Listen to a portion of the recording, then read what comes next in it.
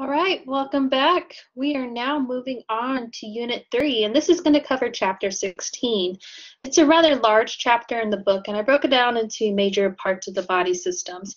And don't be totally overwhelmed by how long the chapter is. Um, we're going to go through the different parts and break it up into smaller parts. And you'll actually identify probably more with this because you have a digestive system and you kind of get a little bit of a better understanding because you can relate it to yourself. So first off, we're going to start off by talking about homeostasis and osmoregulation. So your body has like this internal thermostat. So we're going to talk about how it goes through and regulates things. Um, you know, there are certain conditions that we have to regulate. It can be body temperature, it can be a salt concentration. There's all kinds of different things that we have to monitor.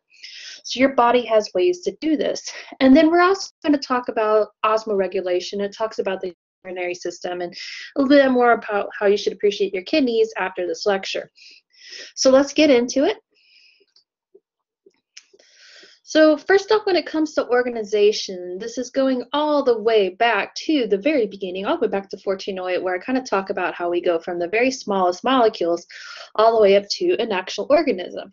So if you think about that, we talked about the elements, and remember protons, neutrons, electrons, all those coming together to make the elements. And then we have these chemical bonds that form between them. So example, a water molecule. Now all these compounds will form together to form the different macromolecules and we get to eventually we have the type, specific type of cells. Now this is a very primitive level, like an organism at this can be at the smallest level right here, be a single-celled organism.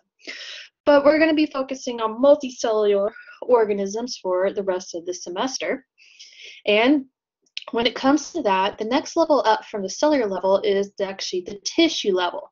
So basically, a tissue is when you take cells of the same type that work together to perform the same function.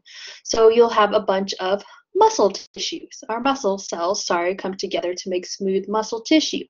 So they like it how they call it a community of cells coming together to form a tissue. Now, the next level up is the organs. So this is where you have two or more tissue types working together to form a certain function. So example right here, they're showing the bladder. So we're going to have skeletal muscle and smooth muscle coming together to form the bladder, which is that one specific organ. Now, an organ could be on its own, but then most of the time you're going to see them come together to form systems. So these are multiple organs working together to perform a related function. So like on this one, you're going to talk about the urinary tract system.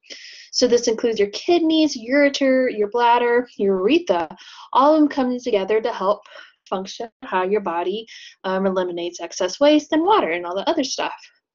Now, all your different systems come together to create the organism. So all of this is coordinated. It's like a huge symphony going on in your body, and we have to keep it all together. People got to come in at the right time. We got to make sure someone's not playing too loud. It's got to be just perfect. So how is this done? Well, the whole process of regulating that is called homeostasis. So you're going to see a lot of awkward Yeti. I do love these guys. These uh, cartoons are great. Um, just go to the website and you can explore the, a lot of the heart and brain comics. Um, but they're fantastic. So you'll see quite a lot of these guys. So basically, homeostasis is how do we maintain that constant internal environment despite the external changes? So think about you go outside. Um, it's kind of chilly right now. I took the dog out, and I'm too lazy to put on a jacket because I'm telling him just pee on the tree outside. But then he's taking forever, so I'm starting to get cold. My body's saying, okay, the external temperature is lower than what you should be at. Um, we're starting to free things, so you you know things are going down, so you start to shiver and things like that that. All systems are going to contribute to homeostasis. So we need to bring things to this normal level. So maybe think about the digestive system. We need to bring in new nutrients that are too low we need to build up something. Maybe you had to build up something that was damaged. Maybe you decided to go work out after doing that big Thanksgiving meal. I'm recording these on Thanksgiving weekend, so maybe you have some damaged sore muscle tissue that you need to rebuild because you decided to work out. Well, you got to eat the right food so we can get the right protein and break it down to the amino acids so we can go back and rebuild stuff. We might have to remove wastes that are excessive. So the urinary tract will be very important for that because your body cannot keep all this excess waste around. We have to get rid of it. You're going to need the transport materials where needed. This is where the cardiovascular system. Remember, all the cells in your body go through cell respiration. So they have to take in that oxygen and then they have to get rid of that waste product, which is the carbon dioxide. So they all have to work together. We had to have a way to get all this to the lungs so we, we can do the big exchange. And then we have to regulate the behavior of the other systems. Someone has to be in charge. That's the brain right here. That's your nervous system. Now, most illnesses are attributed to when we disrupt homeostasis at some level. You know, when things get out of whack, that's when we start to see problems. So think about it, you have a set point. Um, blood has a certain pH range that it likes to stay, it should stay at, and they will monitor that.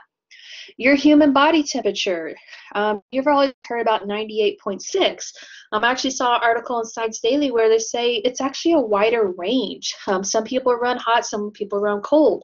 You probably know throughout the day you probably go through hot spells and cold spells. Um, like I'm like a little oven when I when I sleep at night, but then there can be times where I go to bed and I'm like a little icicle. You just never know. And then other one that you could monitor is blood glucose levels. Uh, there's only a certain amount that you should have at a certain time. If you get below, um, you know, your body will kind of recognize that. And then we need to go to the reserves and release some of your stored glucose. So this gets back to feedback loops. So once a change in your environment is made, we need to adjust. So a stimulus is going to happen, and we have this loop that's going to happen. So first example right here, we have a stimulus. What's going to happen? It's going to trigger a sensor. And then that sensor is going to go back to the control panel, which is going to be like your brain. And then that's going to cause the effector to activate. And then we're going to go through and adjust however we need to do to adapt to the stimulus. So here's an example with body temperature regulation. So if your body temperature exceeds 37 degrees centigrade right here, what happened is your nerve cells and your skin and brain sense that. All right, it's getting a little hot and all the other stuff. That sends a signal to the control center, which is the regulatory center of your brain. And then what that's going to do, it's going to activate your sweat glands throughout your body. So then you're going to start to sweat. That perspiration is going to cause you to cool. And then what we want to do is call the feedback loop to cause your body temperature to go back down below 37 degrees. So this is a prime example of a negative feedback loop. A lot of the body uses these negative feedback loops to go through this. Your goal is to reverse the stimulus with these. So these are just kind of defining the different parts that I was talking about right here. So body temperature regulation, prime example. If it's too hot, you sweat until the temperature lowers back to normal. If it's too cold, you start to shiver until temperature rises back to normal. So these are ways that your body adjusts to temperatures. Now, there are most of the time you think about negative, but there are positive feedback loops. And what they want to do is enhance the stimulus. Now, you won't see these as often, but they do exist. Um, one example is the production of this hormone called oxytocin during childbirth.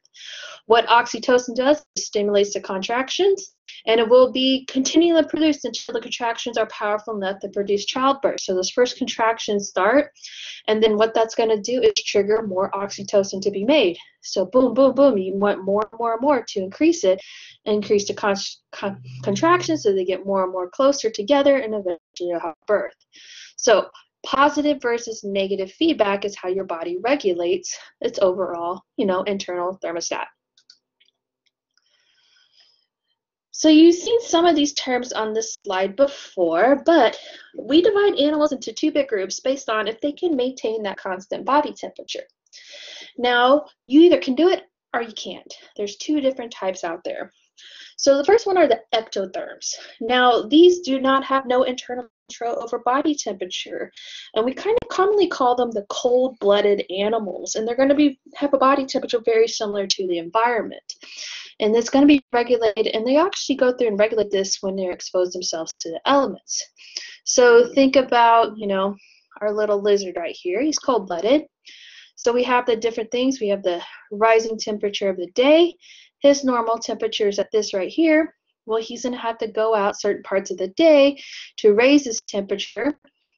And then when it's nighttime, he'll go back down. So he might have to go out multiple times in the day to sun himself to kind of warm his body temperature back up. Now we are an endotherm, so we're able to maintain a constant body temperature. There's different ways that we can do that via fur, fat layers, feathers, the process of shivering, and then your circulatory system. It goes through the process of vasoconstriction and vasodilation to help regulate that. And then just plain behavior. You put yourself in ideal conditions. You know, if it's too hot, you're starting to sweat, you go look go indoors or you go where it's shady. Now, ultimately, this is all controlled by the nervous system, and the big guy in charge is your hypothalamus. He is in charge of maintaining these set points. So, if your hypothalamus is having problems, it's going to affect your overall body. So, let's talk about how we maintain the salt and water balance across your body. So together, this is going to be called the osmotic balance. So just looking at what your body fluids are composed of. It's going to be composed of water. You're also going to have electrolytes, which are going to dissolve ions when they are dissolved in water. Some examples, sodium, chloride, potassium. And then you have non-electrolytes, which do not dissociate into ions in water. So example right here, it's like a blood vessel. Inside you have blood plasma. So on one side of this blood vessel, you'll have a set of cells, and inside the cell is called the intracellular fluid, and outside the cell is called interstitial fluid, or IF for short. So there's three big types of body fluids. So there's the blood plasma, composed of these units, intracellular, which is the inside, and intercellular, and their interstitial is which is between the cells. Now, if you remember all about membranes, they are semi-permeable, so they can control what goes in and out, and it's all permissible to the size of the solute, um, qualities about it, if it's hydrophobic, hydrophilic, all that stuff coming back to haunt you. But ultimately, you want to equalize solute concentrations on both sides of the membrane. So if you remember this, um, you went through it in lab in 1408 where you actually did it to a plant cell where you put it in some salt water and you saw all the water leave the cell. So there's another way you can do this with blood. Here's a cool little video that kind of takes some blood cells and puts it in different solutions. So if the concentration is both equal inside and out, we have what's called an isotonic solution. Now, if the concentration is higher out, the water molecules are going to want to leave to kind of space it out a little better. Better, that's the hypertonic. So water leaves the cells and it causes the cells to shrink. Versus a hypotonic, the concentration is lower inside, so water goes into the cells, and ultimately this can cause them to burst. This is a cool little video and actually shows you examples of blood cells going through the different stages right here. So we're constantly taking fluids and electrolytes into our system. I'm sitting here drinking water. I can honestly tell you I'm about to have some wine pretty soon because it is evening time and it's just about time for it. Now we have to make sure we eliminate what we don't need to maintain this osmotic balance. So food and water are going to enter we got to get rid of the excess. Now, we get rid of excess through various methods via sweat, urine, or our feces. Now, if we don't get rid of these waste products, they can build up, and then that buildup can cause tissues and the entire organism to die. So we have some major excretory systems that we deal with in our body. So we're going to talk about the lungs when we talk the respiratory system. Its main job is to remove carbon dioxide and some excess water as you exhale. There is a lot of water vapor in you as you breathe. So hopefully this time you've heard about COVID and how it's transmitted via on water droplets. Well, when you breathe, you cough, water comes out through your lungs. There's also your skin, and it removes water through electrolytes via sweat. Um, that's why your sweat's kind of salty. I don't advise yourself to lick yourself, but you're going to see there's a lot of salt within your sweat. And then you probably think about your kidneys. And these do is remove waste as urine. So this is how my lungs will probably feel when I go for a nice long walk tomorrow once it warms up. So let's kind of go through the urinary system. And I'm not going to go into extreme, extreme detail about this. I'm going to hit the major parts, what they do. And I have what are some of the problems, and I'll mention that later on. But if you think about the main parts in the urinary system, you're going to have the kidneys first. So those look like those little bean-shaped guys right there. Now what the kidneys do is they filter nitrogenous waste from your blood. So it's constantly, your blood is constantly being filtered through your kidneys. And it's very important for maintaining this water salt balance and regulating your blood pH. So that's why when kidneys, when you see kidney failure, that's a big indication that there's going to be system-wide organ failure because if you can't remove the waste products from the blood, that blood waste products are going to keep going back to all the different organ systems and we're going to have problems. Now, with the waste product, how we get rid of it is via the process of urine. So it's just liquid waste that is produced by the kidneys. Now, kidneys will generate this urine and will go down the ureter. So it's just a tube that carries urine from the kidney to the urinary bladder.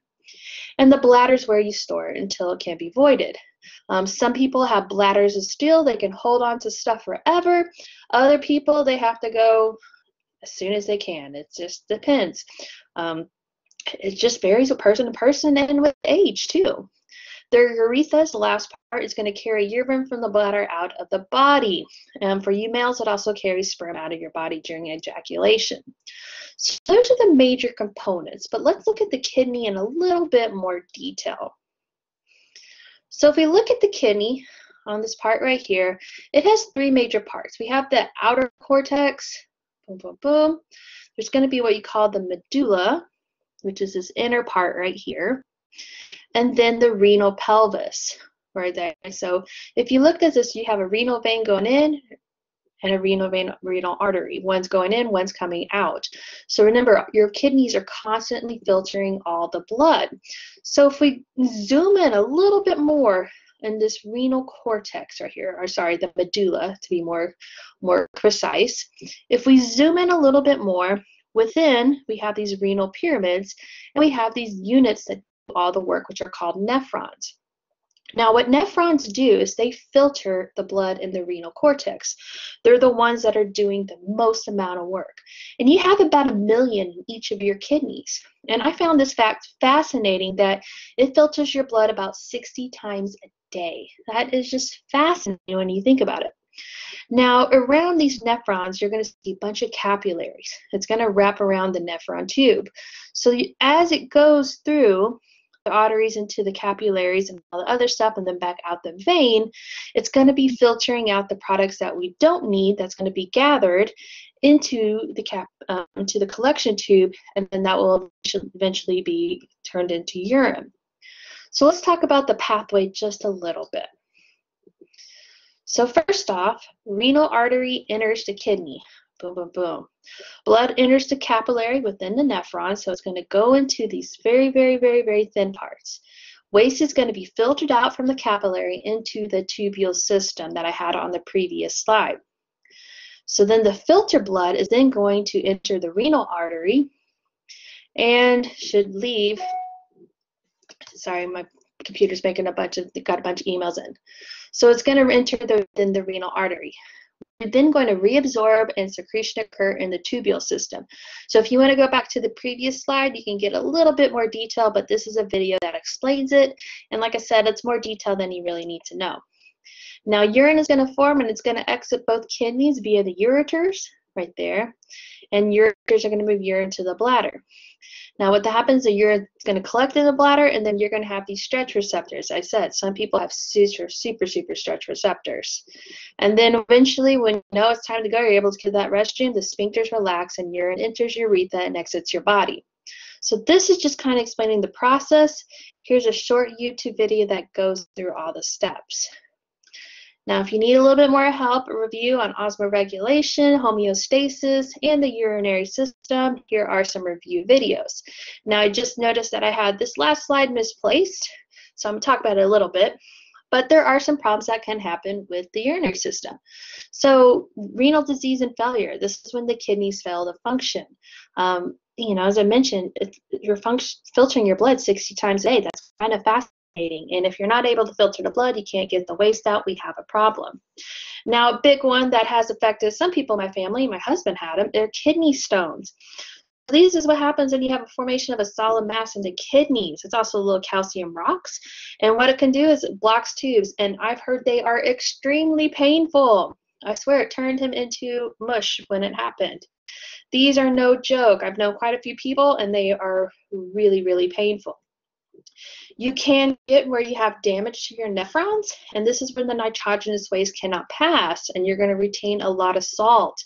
And then, if that happens, you will become unconscious and you'll have heart failure. Now, one way that we can go through about this is going through the process of hemodialysis, is where we use artificial mean machine to go through and replace the function of the kidney. So we're going to filter the blood outside the body, then return it. Now, kidney transplants are very successful, and you know they it is one of those things. So you know if you have kidney problems and you're able to get a transplant, it's a really good idea. If you remember in 1408, one of my um, last discussion posts was talking about possibly using um, or um, chimeras to uh, generate human organs. And it kind of makes you think about maybe that is something that eventually we might be thinking about doing about growing human kidneys in different animals. And as you're sitting there about having, you might be having your coffee, or as I mentioned, about to have a glass of wine. Nephrons use diffusion to move salt in and out of the tubule, maintaining that water-salt balance. That's its whole job. So coffee and alcohol, they actually interfere with that absorption, absorption and we have excess release of water and urine. Both of these are diuretics, so that's when you have a lot of this because you're also drinking a lot of fluids too, but it acts as a diuretic and it causes you to have to pee a lot. So as I mentioned on the previous slide, there were some videos, and then here's credit for the images. So I'll see you on the next one.